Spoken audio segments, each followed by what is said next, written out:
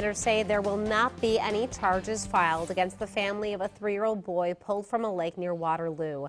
Douglas County deputies confirmed today's autopsy on three-year-old Aspen Seemann showed he died from drowning.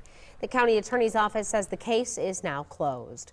People across the country offered prayer and support for the boy with a Pinwheels for Aspen movement. His funeral will be Tuesday.